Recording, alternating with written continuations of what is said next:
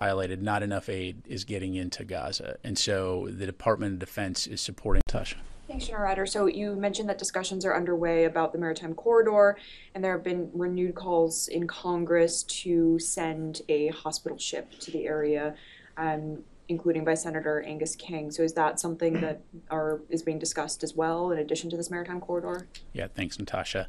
Uh, again, I don't have any specific details to provide other than, again, we're going to work closely with the interagency to look at uh, what the requirements are, how best to meet those requirements. And as I mentioned, that could include both commercial or contracted options.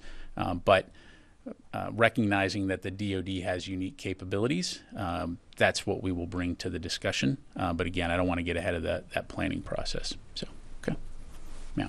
Yeah, thanks. Um, so given that there are aid trucks at the border waiting to go in that are being held up, um, this seems like it's putting the U.S. in a position to have to airdrop aid, which is known to be more dangerous and expensive. Is the Pentagon frustrated that it's being put in this position due to how Israel is conducting its operations? Uh, the Pentagon doesn't get frustrated; we just get busy. So, um, so I mean, clearly, as the president has highlighted, not enough aid is getting into Gaza, and so the Department of Defense is supporting that broader U.S. government effort to help contribute to that. Certainly, we want to see more aid being delivered via ground routes, uh, and again, this is part of the discussion that we're having with the Israelis in terms of how can they work to ensure that those routes are open uh, and that aid can get in quicker you know, it's obviously a very complex situation on the ground. It's not like trucks can just drive in. There ha- there's a screening process, and then, of course, there's safety and security of getting that aid to certain locations. Um, but all that to say, again, as you heard the president say, uh, aid is not getting in fast enough. And so these airdrops that we started over the weekend are part are intended to help supplement those efforts but we won't stop there. Again, we'll, USAID and others will continue to look at ways that we can expedite uh, aid getting into Gaza, also in coordination with other countries from around the world. Thank you. Let me go back to the phone here.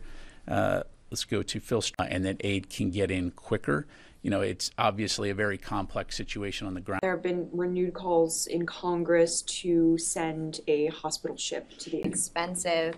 Is the Pentagon frustrated that it's being put in this position due to how Israel? area, um, including by Senator Angus King. So is that something that are is being discussed as well, in addition to this maritime corridor? Yeah, thanks, Natasha.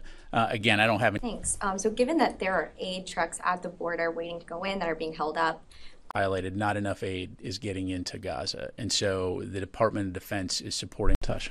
Thanks, General Ryder. So you mentioned that discussions are underway about the maritime corridor, and include both commercial or contracted options, um, but uh, recognizing these in terms of how can they work to ensure that those routes are open. Any specific details provide other than again we're going to work closely with the interagency to look at um, this seems like it's putting the U.S. in a position to have to airdrop aid, which is known to be more dangerous. busy. So. Um, so, I mean, clearly, as the president is, but again, I don't want to get ahead of that, that planning process. So, okay. Yeah. Yeah, it's conducting its operations. Uh, the Pentagon doesn't get frustrated. We just get get uh, what the requirements are, how best to meet those requirements, and as I mentioned, that could be that broader U.S. government effort to help contribute to that. Certainly, we want to see more